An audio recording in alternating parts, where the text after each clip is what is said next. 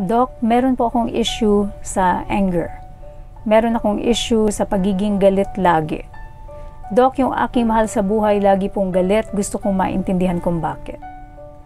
So galit is one of those things that we need to truly understand para po yung ating paglalakbay sa buhay ay maging mas magaan. As usual, I share with you yung mga experiences ko.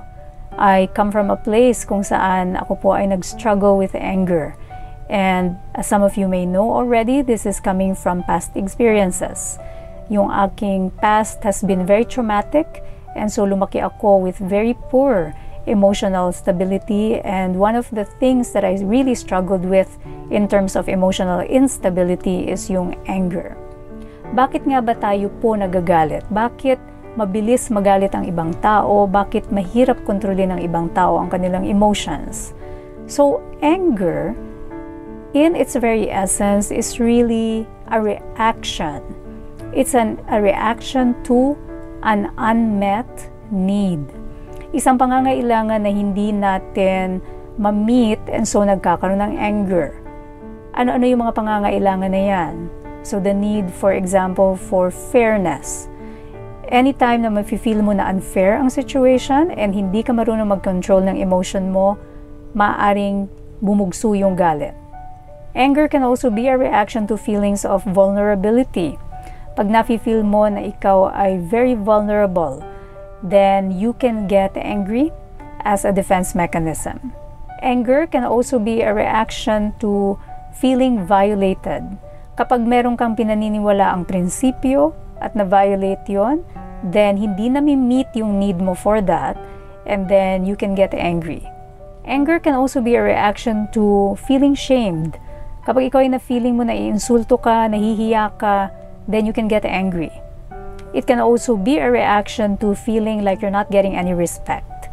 So may mga tao na minsan parang pag nafe-feel nilang hindi sila nire-respeto, they get angry. For example, very common ito yung parents po. So if a parent is saying something sa anak tapos parang hindi nakikinig yung anak, magagalit kasi they feel like yung kanilang need for respect is not being met. So, in any of these situations, merong unmet need.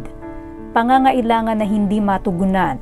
So, ang magiging reaksyon ng isang tao na hindi alam paano kontrolin yung kanilang emotions can be anger. And anger can be expressed in different ways din po, ano? So, ano-ano yung mga pamamaraan to express anger? So, anger can be expressed aggressively. So, ito yung mga tao na talagang bigay todo pag magalit. Nandyan yung sumisigaw, you know, mataas ang boses, talagang namumula, they are showing it. Right? Merong mga tao that can express anger passively. So, galit, pero hindi ipinapakita ng obvious, pero ini-internalize na sa loob lahat. Merong mga tao who do a combination of the two. So, ito yung mga passive-aggressive. So, maaaring hindi ipinapakita ng harap-harapan, pero they are expressing the anger in a different way. Like, for example, magbabagsak ng pinto, right? Or maaring, you know, magwala, right? So that's anger as well. Hindi nila ginagawa directly dun sa tao, but they are channeling it in a different way. So passive-aggressive. Maaring hindi harap-harapan, pero maaring sinasabi sa ibang tao. So that's passive-aggressive. And then finally, merong assertive so, assertive is really acknowledging that you are angry, but you are not doing it in a destructive way. You're able to talk about it. You're able to say na ito yung nararamdaman mo. I'm frustrated. I'm annoyed. You're honest about it. You are not covering it up, but you are logical enough to be able to name it, to talk about it, and then later mapapalipas mo na siya. So may mga nag advise na kung galit ka, ay ano na lang daw, um, let it go, wag mo na lang siyang pansinin, and kumbaga, ipasa Diyos mo na lang. Is this healthy?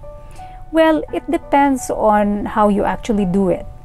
Kapag ka ginawa mo siya in a passive way, it's going to be unhealthy. So passive is, hindi mo pa siya na-acknowledge, so you are not really coming to terms with why you are angry. Hindi ka logical in thinking, bakit ka nga ba nagalit? Anong unmet need ang nangyari dito kung bakit ka nagalit. And then, you, you are not really logically thinking yung mga iba pang rason. Like for example, why did that other person do it? So, walang analysis na nangyayari, walang logical thinking. Everything is, ano lang, kikim-kimin ko na lang. And this is dangerous because ito ay maaaring mag-cause ng internal damage sa atin. In what way? Well, number one, in a physiologic way. Kapag meron tayong mga repressed emotions that our minds have not been able to make sense of, pero pilit lang natin siyang ibinabaon sa limot or pilit nating hindi inaalala, ang nangyayari dyan, yung ating mga stress hormones, patuloy pa rin po yan sa paggawa. Not because you're not manifesting it, hindi mangyayari yung physiologic changes na yan. So the stress hormones, cortisol, lalo na po ano, pag if this is going on for a really long time, and parati nyo lang nire-repress, itinatago, ang nangyayari dyan patuloy ang pag-secrete ng cortisol and it causes a lot of damage sa ating katawan po ano because cortisol the stress hormone can have both short-term and long-term effects and kapag ka, lalo na't ito yung inyong defense mechanism and lagi ninyong kinikimkim likely nagkakaroon kayo ng long-term effects nito so it will affect your immune system magiging sakitin kayo it'll even affect yung regulation ng hormones ninyo So it affects even insulin. Alam niyo I always talk about low carb and fasting nutrition. And minsan yung ibang tao nagtataka bakit very flabby sila, yung katawan nila very unhealthy. It's the cortisol effect on insulin. So kahit na kayo magaling mag low carb fasting, pag lagi kayong stressed, minsan mahirap matanggal itong mga bilbil right? Like yung mga abdominal fat deposition, yung inyong look ay very much unhealthy is because of the cortisol effect merong effect ang cortisol sa brain functioning natin, sa mga pathways ng brain function natin and it can impact our mood in the long term. So kung lagi kang galit pero hindi mo ina-express ang galit na yan and you don't make sense of that galit, it can affect yung mood mo. You can go either into depression or anxiety or bipolar, right? These are all repressed emotions and they can certainly affect yung inyong mood. And marami pa pong iba. It can affect your blood pressure, right? Again, it's a cortisol effect. Yung blood pressure na yan, you can have chronic headaches. So yung mga migraine headaches na yan is because of all the repressed emotions. It can impact yung inyong general health in terms of yung parang mabigat yung katawan ninyo lagi, parang ang hirap gumalaw. It can impact your sleep. Napakalaking bagay po nito. When you're, you cannot sleep, that can have all its own parang effects on all the other bodily systems. You won't be able to function and lalo kayong mas magiging sakitin. You'll be prone to things like having cancer, right? Because this is again stress effect. Effect ng cortisol, chronic stress can cause an increased risk of developing cancer. So ito yung mga maaaring mangyari po dito sa repressed anger. So the passive type of type of anger na kinikimkim lamang sa loob. So ngayon, ano naman yung pagkakaiba niya dun sa assertive type? So the assertive type is the type wherein you have number one, awareness. For example, nagagalit ako kasi na-violate yung need ko for respect. So whenever I get into this, you know, I'm a parent also. Bilang magulang po, ano, we are so prone to having these mild, yung mga burst of, of anger moments syempre tayo nagpapalaki ng bata, hindi naman perfect ang ang sitwasyon na yan. So, many times we encounter moments kung saan medyo nagagalit tayo. So, awareness is the first step. Like, what I consciously do myself, kapag nafe-feel ko na nagagalit ako, for example, I feel disrespected kasi may sinabi ako sa anak ko, hindi siya nakinig and ginawa niya yon first, I become aware. So, and many times I verbalize it. I tell my son, I am getting angry. So yun muna. So first, you have to verbalize it. You have to identify the emotion. And then you say why. Because, right? Because you have to rationalize it. Eh. The moment that you rationalize it, you are making use of this area in your brain, which is the logical thinking part.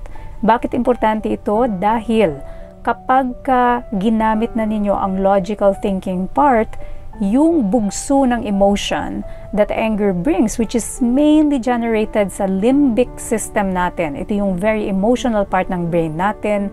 Ito yung part ng brain natin in charge of yung fight or flight. Ito yung stress center ng brain natin. Yung signaling doon madadivert Mawawala siya dun sa emotional part na yon at mapupunta doon sa logical and thinking part. And ang mangyayari, you will have better control of your emotions. So going back to the sequence, for example, pag nagagalit ako sa anak ko, I will say, I am getting angry or I am frustrated because you did not listen to me. I was saying something. Meron akong sinasabi, hindi ka nakikinig. And then I ask, why is that? right? Because you you want to hear, you do, you don't want to jump into conclusions, you just want to hear bakit. Bakit mo ginawa 'yon?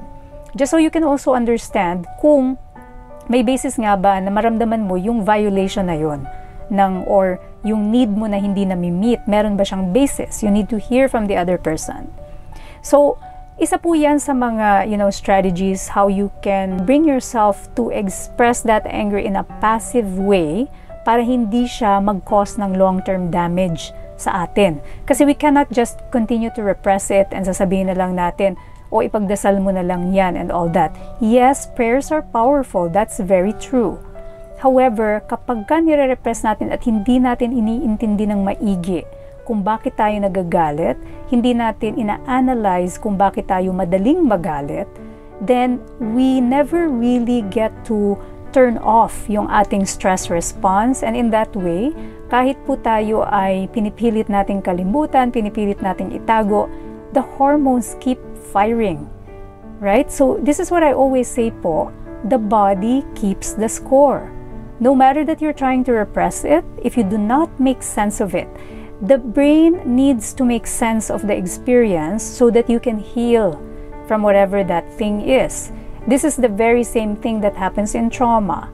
Hindi pwede kasing kakalimutan mo lang. You, your brain has to make sense of it. It has to make sense by using its logical area para nawawala yung mga signaling doon lagi sa ating emotional area. Kung saan nangyayari lahat ng firing ng mga hormones, kung saan nangyayari lahat ng mga uncontrolled na mga pathways na generated sa ating stress centers.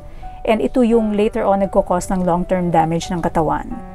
So, this is, I think, very, very important thing to impart sa ating sarili, but also most especially sa ating loved ones, to our children, you know, to our partners, to our friends.